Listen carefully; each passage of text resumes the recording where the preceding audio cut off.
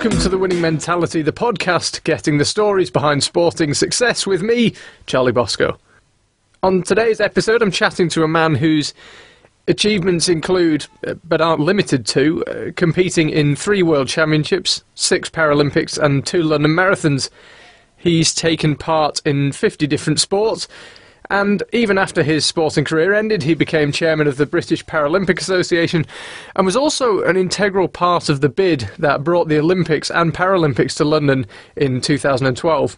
Mike Brace was a sports mad kid, but when he was 10, he picked up a bottle which some other kids had hidden a firework in. The firework exploded and Mike was blinded. His determination ever since to live with passion and to experience everything that life and sport has to offer is incredible. And to be honest, I felt ashamed at times listening to him when I thought about the excuses I make for opting out of a challenge. Mike talks openly about the aftermath of losing his sight and also gives out some superb nuggets of advice, coupled with a few very funny stories. I think you'll enjoy this one. Mike, thank you very much for your time. Welcome to the show. No, thank you very much for inviting me. Also joined by your guide dog, Izzy. Your first guide dog, you were telling me, you've had about seven and a half years. That's right. When um, when I was working, I, I thought well, I wouldn't ever get a guide dog, didn't need one. And then um, coming up to retirement, I thought, mm, well, perhaps it might be easier. And generally, the environment's got a bit worse, I think, with cars on pavements and uh, overhanging trees. And I thought perhaps a dog might be uh, might be better. And uh, so it's proved. I'm amazed to hear you say that because you lost your sight when you were 10, right? So Yeah. you went through your whole working life without a guide dog.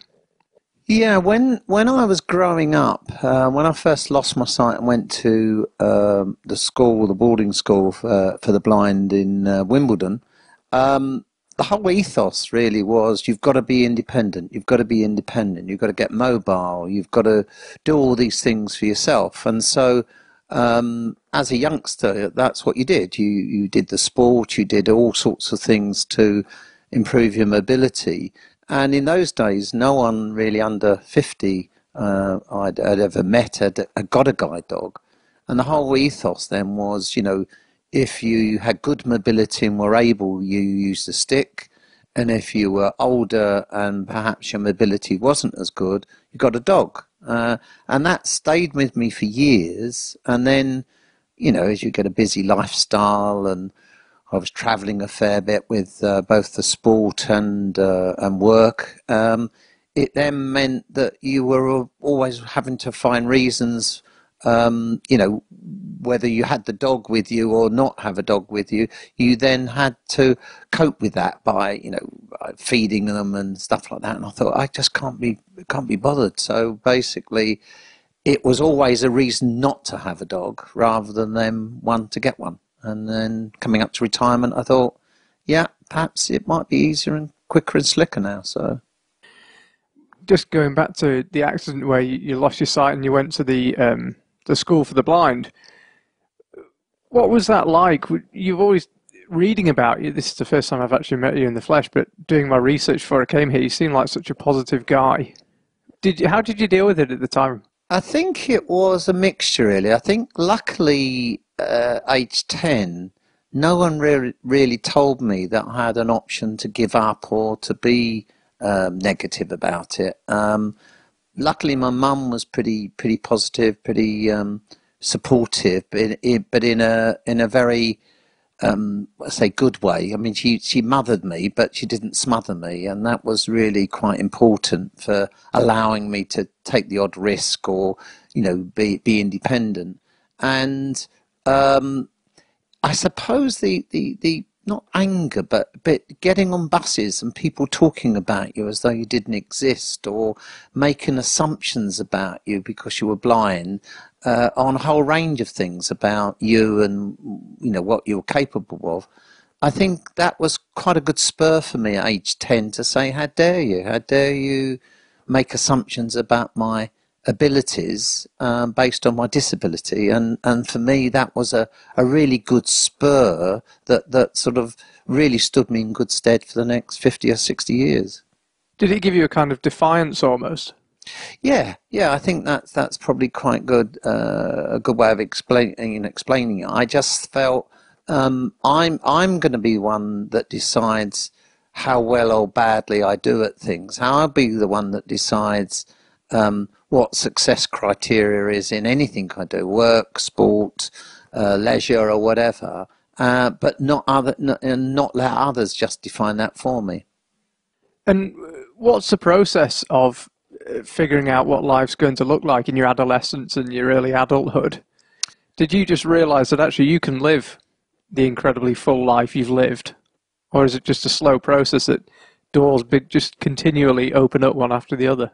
I think it's probably the latter. I think I think at that stage, I remember you know going through a bad time at fifteen or so, thinking, you know, what does the future hold in store? And I'm, I almost feel um, remember sort of for an instant standing on the tube platform, thinking, you know, if I if I did jump onto a train, would would anyone really miss me, and would that be, um, you know, would that be uh, that that bigger an issue?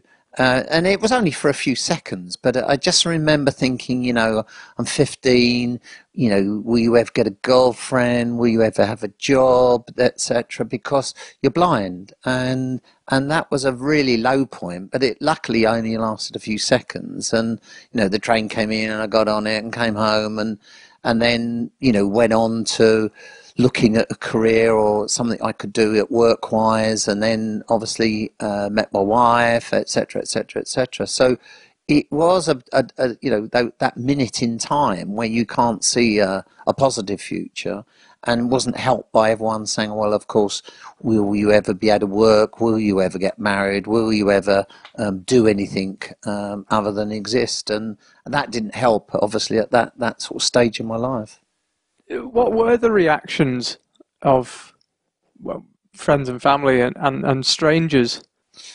It, it was mixed. I mean, there's an old cliche that if you can't see, people think you can't hear as well. And I, I remember vividly getting on the bus with my mum and people would say, "Oh, poor little so and so," you know, and I'd I'd say to my mum, eh, "Hello, who are we feeling sorry for today? Who's got on the bus?" And and then realise it was me they were talking about, and and and all of those sorts of things, you know, and daily people would come up, um, you know, when I used to stick, they would come up to me and say, "Oh, do you do you not have a blind dog?" And I'd say, "Well, if I had a blind dog, I'd have to have another dog to show it where to go because it wouldn't be much use, would it?" I said, "Do you mean a guide dog?" And and again, the sort of disability was foremost in their minds and and and what they were saying and and, and talking about. So, um, yeah, it, it it really was.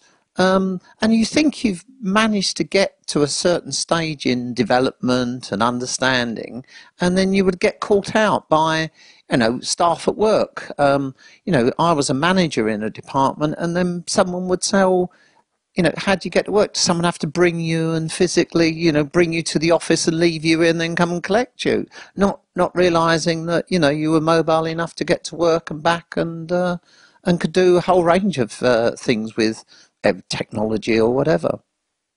Obviously, we're a sporting podcast, but just going back to your working life quickly, I was interested to read on your website you had about two weeks in a job you didn't like. But what did you eventually end up doing?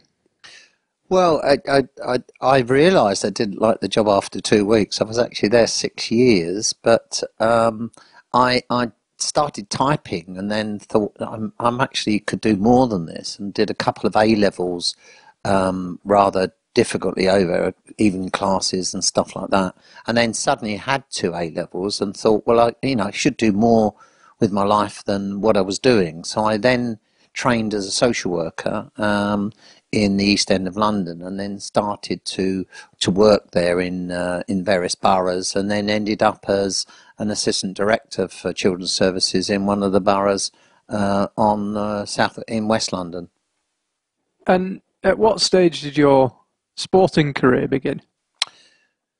I suppose the sporting career really started from almost as long as I can remember, because the, the you know playing sport was something I did as a child when I could see, and you know used to go to school very very early to carry on the football match that you know I was 111 to 96 goals up or something like that, and you'd get to school at eight o'clock and, and play 45 minutes before uh, you went into school, and then play after school, and then having had the accident, sport was the crutch that basically I I lent on really to to look at the adjustment to see how my disability uh, was affecting my sporting ability. So it was so crucial of being able to set a goal uh, that only I would know if I achieved or failed at. I d- I didn't want to be a failure in anyone's eyes, especially my own in those early days.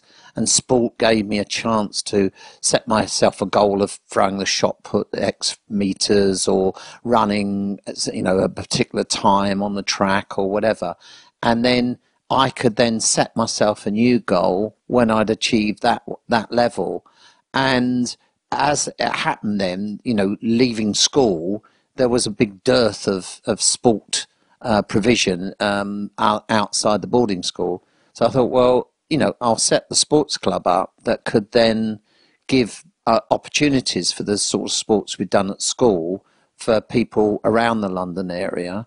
And, and that then led to being asked to try various different sports in, in, in different areas. So did some athletics and then we did race walking and, and general running, and that led on to thinking about marathons.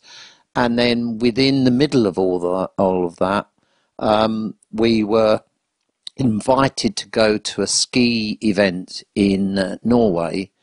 Um, and I must admit, I thought they were completely bonkers. You know, the thought of blind people on skis I think I'd seen the last day of the Lemming uh, film on, on one, you know, where they were plopping off the cliff one by one, and I had visions of these blind people suddenly lining up and gradually dropping off one by one. But we went over there, and I really got the bug. I just thought this was fantastic because I, I, did cross country skiing, so it's uh, uh, where you're zooming along either with a guide in front or behind or whatever, giving directions. But suddenly, after, I don't know, 15, 16 years of being blind, I, you know, had, had something I could do where you weren't relying on holding on someone's arm or behind a guide dog or whatever. You could, or using a stick, you could just go out and have that total freedom of movement out in the outdoor, which was just marvelous. And so, we we then really got fanatical about going over and, and having a go and training. And just as we'd been for the second time, they announced that they were going to have the first Winter Paralympics in 1976 in Sweden. And would we, as cross country skiers, like to trial for uh, the British team uh, to compete? And so, two friends and I uh, basically said yes, definitely started to train down at Aldershot uh, and got selected for the first winter Paralympic team, uh, Winter Games uh, in 1976. And, and basically, that was the beginning of A, my love for skiing, but then involvement in, in sport, both in co- competitive levels, but also then in managing uh, different sports and going on to be involved with the Paralympics. It seems as if um, at the start, we touched earlier on your almost defiance. Did you see sport initially as a way to prove to yourself and others what you could do? And then it evolved into enjoyment? I, th- I think partly that. I think I think partly it was again this whole self awareness, self fulfilling ambition that you wanted to test out your abilities uh, to the full, and certainly um, competitive sport at that level really w- was the nth degree on that.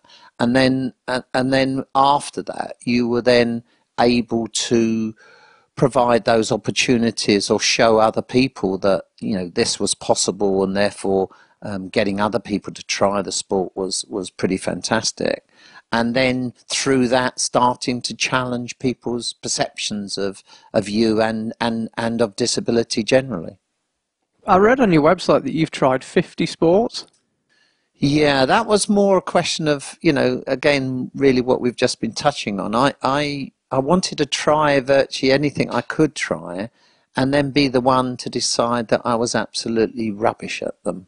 Um, you know, and most of them I was. I was I was dreadful at, at many of them, but but you know, it was it was my decision that I I wouldn't want to do them again, and I was just amazed that you know, I, I, I, know some of the things I've done have been pretty mad, but I've usually found someone even madder than me to enable it to happen. You know, whether it be a parakite instructor or uh, someone looking at water skiing across the channel, um, you know, uh, as a as a fundraising event or marathon running or um, surfing, scuba diving, you know, glide, piloting a glider you know, it was just those opportunities were just too great to, to miss out on, and then um, and then obviously moving on to the next one. It's extraordinary though because I think a lot of people in all walks of life, in your position, fully sighted people, you can see how people just find something they're good at and they like to stick to it. People just they find the sport that suits them and they stick with it. And what's really interesting is your determination to always be a beginner at something and always trying to learn something new. It was much more the challenge that that that basically, you know, in life you end up having um, various opportunities and chances or not, and and if you're disabled, very often those chances are are quite severely diminished, usually by either the attitudes of other people thinking you can't possibly want to do that or can't, you know, can't actually achieve that, or whether it be in employment terms as well, that that you know you can't use technology and therefore you can't do X, Y, and Z, and then you've got to prove them wrong, and therefore the challenge um, that sport gives, or tackling new technology, or um, just general um, uh, environmental issues actually become almost a daily part of life. So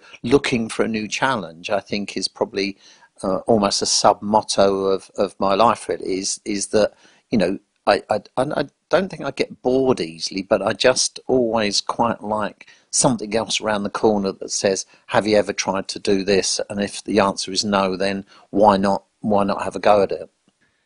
I think also it's about um, redefining your own possibilities. I saw a fascinating documentary about the first guy who tried to sea kayak the Tasman Sea between Australia and New Zealand and sadly was killed. He entered New Zealand waters and uh, was swamped by a, a large wave and, and, was killed. But um, his best friend said during the documentary, "It's amazing. I know nobody can sea kayak the Tasman, but as soon as you say, could you sea kayak the Tasman, it sort of becomes possible just by the act of saying it."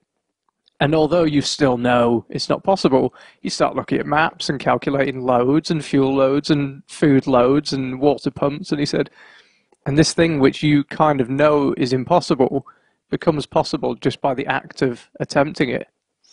Yeah, and I think there's a there's a lot on that in terms of um, you know some of the things that uh, we've then tried. Um, you know you're you are trying to assess it, you're trying to do it safely, but you are still relying on other people's um, judgment around that, and I think that that is the other side of the coin because most of the things that I've managed to to do uh, in the sporting arena have usually relied on someone else um, to be part of that. So um, in 1983 um, when we were raising money to go to the 1984 Winter Paralympics, you know, we were we didn't receive any mon- uh, any funding as a team. This was back before the days of British sport being exactly very well funded, and, and lottery and everything mm. else. And and again, you you largely in those days and in, comparatively still now, you had to be a successful athlete in order to attract the funding whereas we were, you know, a British team coming into winter sports, um, which you know was a bit of a, a laugh really in many cases. And so we raised money to get the team to various competitions and then over to um, the 84 games. But what we then decided to do was um, uh, three a, a, challenge to raise money. So we did three um, uh, marathons in three different sports in 30 days in order to raise money. And the, the thing at the end was that you had to guess the time that it would take to do all three combined in order to win 50, 50 pounds in those days. And you had to pay either know, 50 pence or a pound to enter the competition. And through that, we raised about £3,000 and paid out £50 uh, prize. But what we did then was a canoe marathon, which was 42k in Norway. And that was obviously the safe one because we were all skiers we then did um, something called the Devizes to Westminster Canoe Marathon, which is definitely the, the worst thing I've ever done in my sporting career. I I didn't really do my homework, and um, I knew there was this canoe marathon, so I thought 42k, sitting down in a canoe, you know, piece of cake, you know, and it turned out to be uh, 200k, um, non-stop. Um, and they and they said there was these things called portages. And I said well what's that? And they said well you get the canoe you put it over your head and you run with it around the locks and then put it back in the water and get back in. And I said oh. I said how many of those? He said 72 of those. And what's the longest one? A mile and a quarter run with a canoe and and again I had to have someone in the canoe with me as as the uh, other guy, a steerer. So so he then had to be prepared to do that. And then 14 days after that, we then did the London Marathon, which by which case, uh, you know, at which stage I was almost um, unable to walk, let alone run 26 miles. But you had to finish the three to um, to get the money. So we did it, um, and I remember getting out of the canoe at Westminster um, just as my guide uh, passed out, and, and the strain of, you know, guiding me and being part of it for 27 hours non-stop was just a little bit too much for him. Um, but you know, it was just again the elation of doing something as crazy as that. Um, probably not quite as prepared as I should have been for that um, was just something I will always, always have at the back of my mind that, that you've pushed your endurance and levels of comfort to, to the absolute limit and beyond. And that told me so much about myself as well as, as well as obviously um, what what the sport was about, but it was what I was about in terms of uh, going to that nth degree. And you got to those Olympics, and it was six, it was six Olympics you went to? I went to, yeah, six Olympics, six Paralympics, and three World Championships and two European. I mean, you had an extraordinarily successful career. It was, yeah, long uh, and successful. I think my best uh, result was fourth in the relay in, in 92 in Albertville, and we were then seventh in the individual um, biathlon, which was the ski shooting. Again, another amazing event where you, you have a, a gun. Um, in those days, it was 2-2 rifles with a, an optical sight on them and an oscillator. And then you put your earphones on, and as you pointed the gun to the center of the target, the note in the oscillator then went up or down depending on where you were pointing the gun.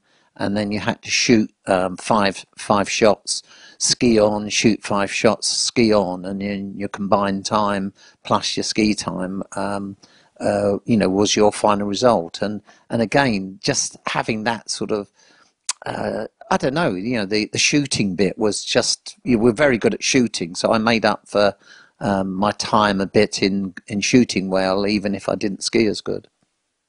And uh, and after your Olympic career and World Championships, you went into sports administration and management. Was this going back to what you said about you want to get other people redefining their own their own barriers? Yeah, I, I, I think, um, you know, what they usually say, don't they? The, those that are too old to do and then manage. And I think that for me was part of it, that I, I, I just loved the, the sports opportunities.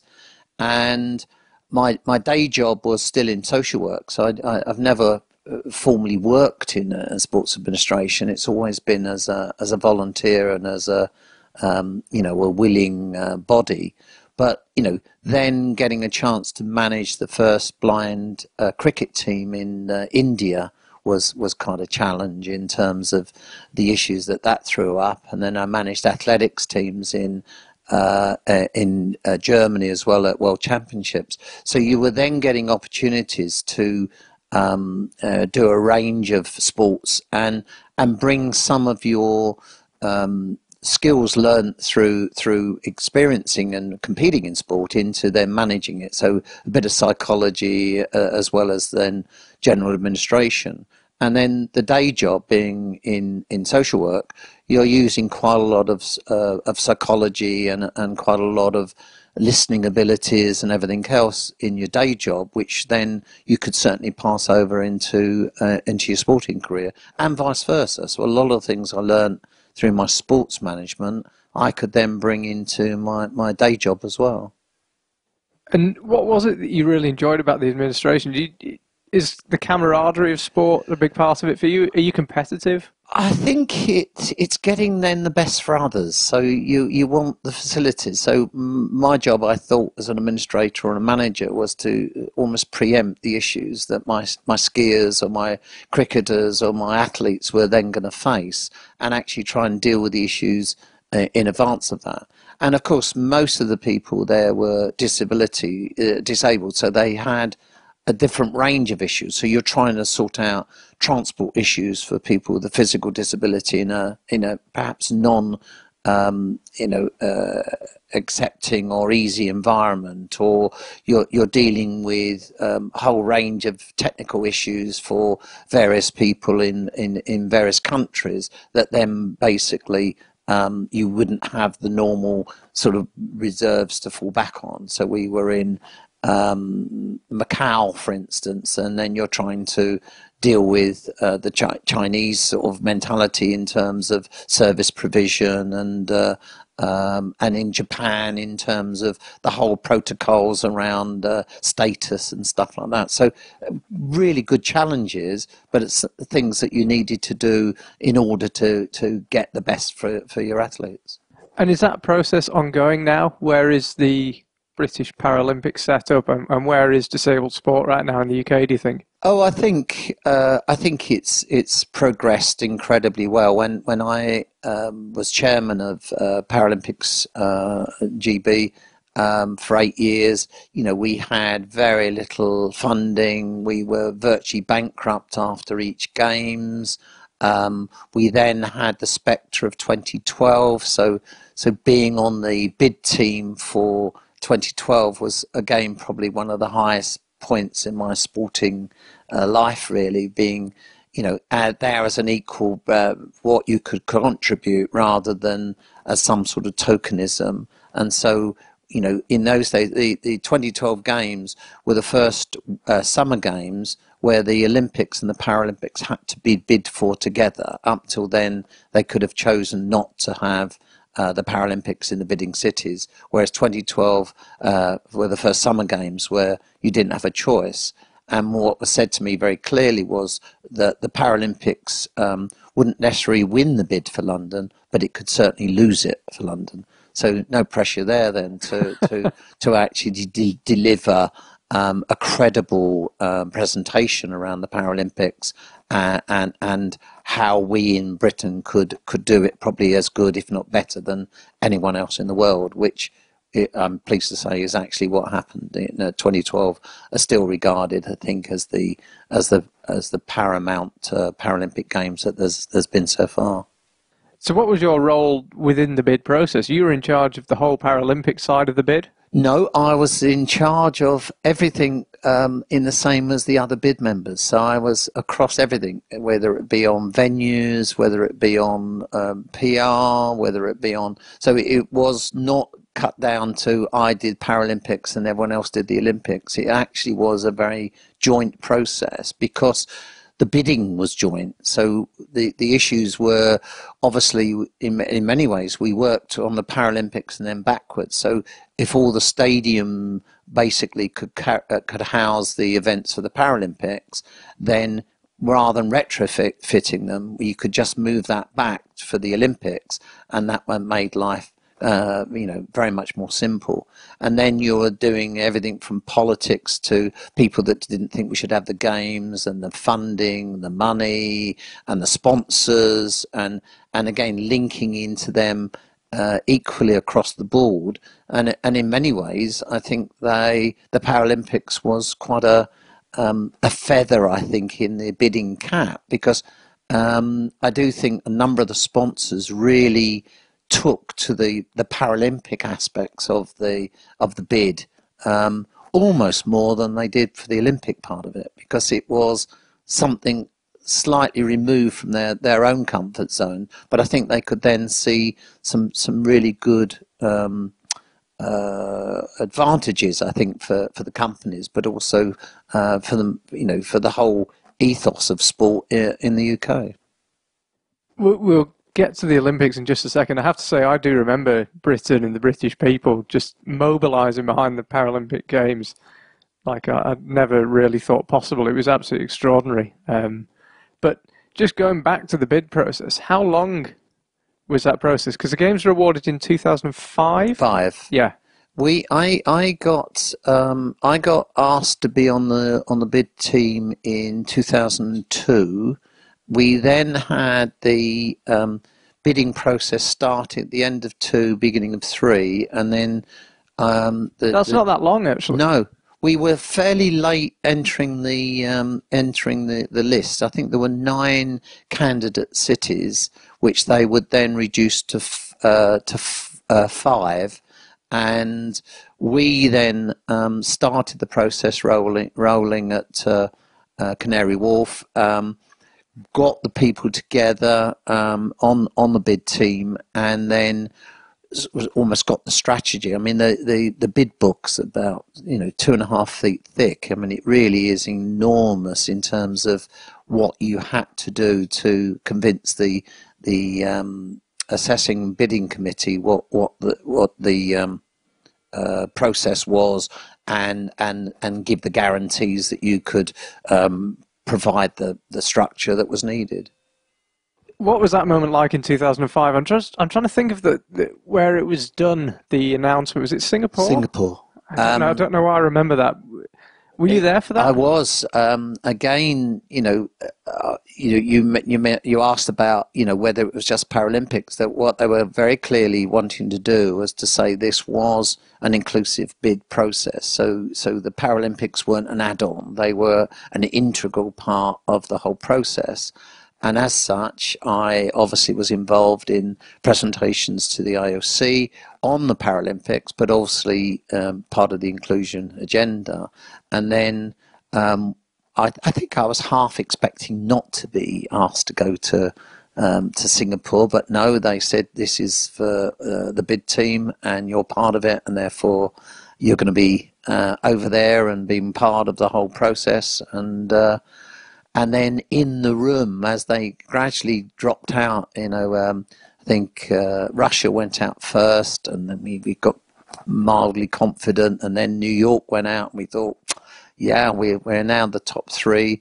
I think the big favourites were Madrid and Paris, and then the big shock came when Madrid dropped out, and then it just left us and Paris. And when we went into the room on the final um, decision, um, there were about 150 journalists in front of the French and one in front of us. So we thought, well, they've obviously leaked the um, decision because they were expecting Paris and uh, to win it. Well, I mean, I remember that they had um, cameras in Trafalgar Square. Yep. Yep. Uh, famous scenes. I remember watching it on TV when it was announced, but no one really thought Brit- uh, London was going to get it. They were distinct second favourites and and and it was it was just uh, tingling. You're standing there, and we were having the well, you know, we've done a good fight, and you know, da da da, and then suddenly when he said the the venue was going to be London, and everything went. I think I got a hit on the head by about five mobile phones because as people jumped up in the air, their phones flew across the. Uh, you know the the room, and um, uh, it was just just unbelievable. Um, and and slightly numb, you know, that, that you got this success, and then gradually starting to dawn just how, um, uh, you know, what it meant and and what we still then had to do to to live up to what we had actually presented.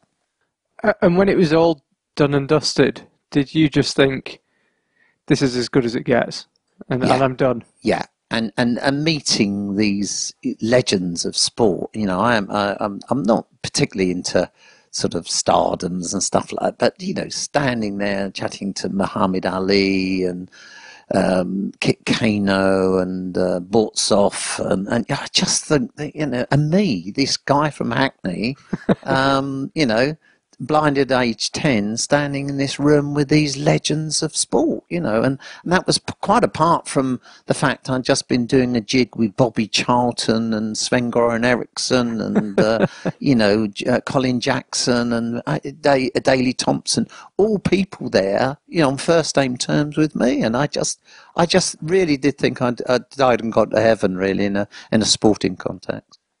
After you stopped your sports administration um, you've carried on doing sport. You've just got back from Norway, still as passionate as ever. Well, very much so, and um, trying to get other people to, to have those experiences is still there. It's still uh, there's still a battle because um, one of the one of the really powerful um, sort of things that, we got from the 2012 games, and I think I had realised, but not not quite to the to the level the, the Paralympics we thought and hoped would challenge people's perceptions of disability, and I and I think the 2012 Games did that um, absolutely phenomenally.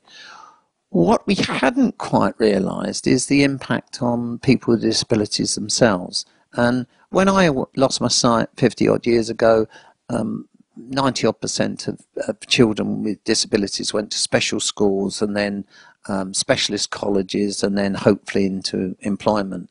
Nowadays, the majority of, of youngsters with disabilities go to mainstream schools, with a very few going to special schools.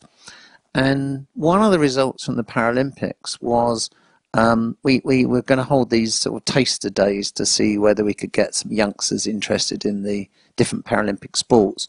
And we originally thought we'd get about 100, 150 turning up. And I think nearly a thousand turned up for the first um, uh, games that we um, trialed. And what we hadn't quite realised was that the majority of kids then with disabilities in mainstream schools suddenly for the first time saw people like them doing these amazing things on the telly, you know, uh, one legged high jumpers or wheelchair racing or blind long jumpers. And they said, hold on, I want a bit of that. Why, why can't I do that? Why, why has no one ever told me that these things exist? And most of us learned these stuff from, from you know, being in, in uh, specialist schools. So, you know, the sport was there, the football, the cricket, the athletics, the rowing. But for many of the youngsters in the, in the mainstream schools, they just didn't get the chances to do any sport uh, they stayed in the classroom during break time and they weren't able to stay on after school. Team games were largely ruled out. And suddenly, um, that sort of really gave me another impetus post 2012 to say, well, there's dozens and hundreds of kids out there that, that could or should actually know, know about these sports and perhaps uh, get a chance to try them. So I'm still involved with uh, my, my sports club in London, Metro. Uh, we do a athletics event in Mile End every year in June, and we get about hundred children coming along to the athletics events. Um, we do other activities throughout the year in different sports, sailing and stuff like that. And and the numbers now are growing and growing in terms of saying, actually, we didn't know you could do this.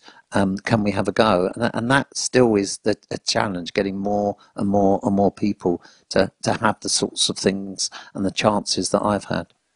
But this is obviously an extraordinary cause. It's something we want to support. If kids want to find out more, where can they do that? The um, the the um, the general thing obviously is the Paralympic site. There's uh, there's there's quite a lot of um, um, uh, links on there in terms of the different sports and the different disability groups. Um, my my sports club Metro have got their um, website metro um, blindsport.org.uk um, um, and obviously uh, they they would certainly link into people with a, a sight loss issue um, and and try and link them in uh, to a sport that they might be interested in.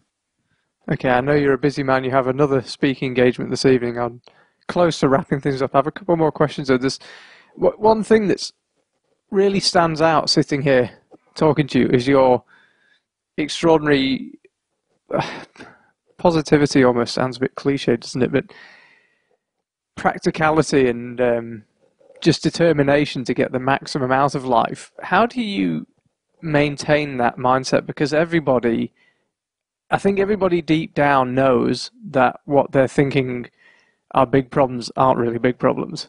But I think everyone's guilty at times of of losing a bit of perspective, and it seems like you just stay endlessly positive.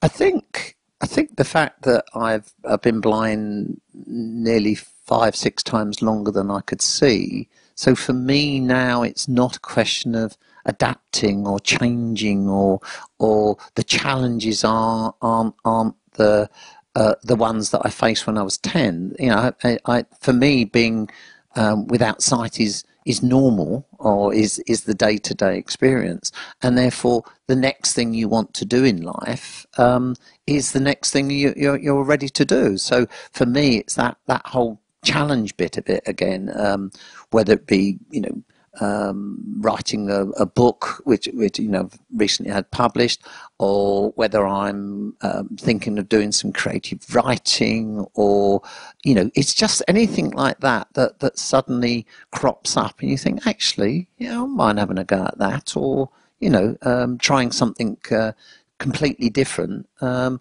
would would you know is is just on the agenda and it just keeps me going. I, I do get bored easily. I mean, when I retired, I, I probably packed up work a couple of years too early and and really suddenly you know woke up and thought well I haven't got anything to do today um, and so for the last few years I've been desperately trying to ensure that I wake up every day and I've got more than one or two things to do um, and and and and meet those challenges really I suppose it's just a case of viewing your life for everybody as, as circumstances.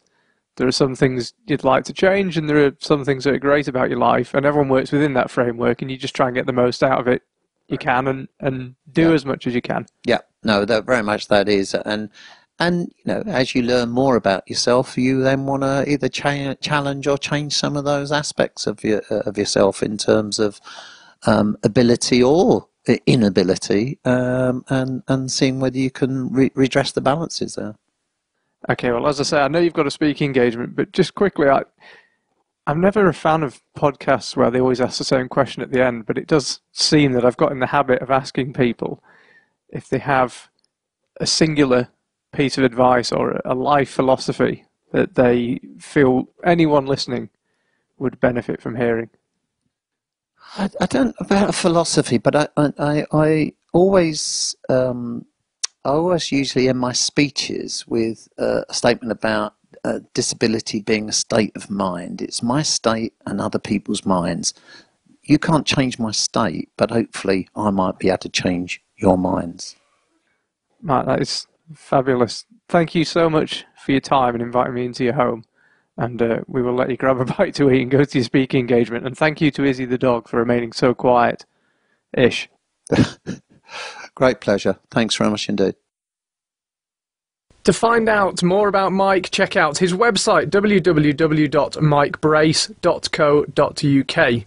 Mike also has a book out telling his extraordinary story. It's called Don't Ask Me, Ask the Dog, and it's available at good bookstores everywhere and on Amazon. We'll be back next Sunday, so speak to you then. In the meantime, like, share, and comment. Thank you for listening.